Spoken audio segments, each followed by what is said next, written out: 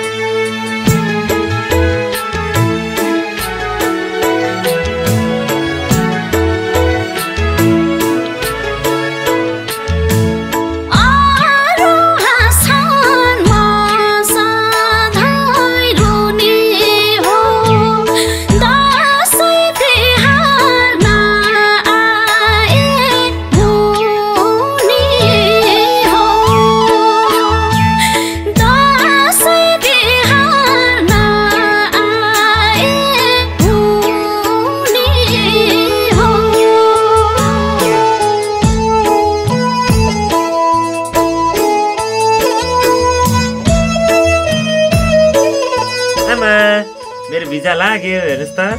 मेरो छोरो पनि अब लाउरे हुने भयो। मेरो यो च्यातिएको धोती पनि टालिदिने भएछ अब होइन त?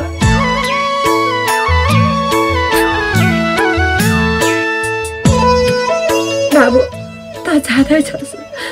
तर मेरो प्राण लिएर जाँदैछस्। मेरो खुसी तैसँग छ बाबु। आमा यो भिजा होइन। आँसु हो।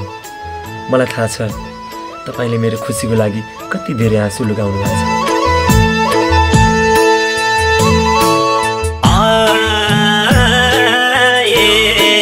हो।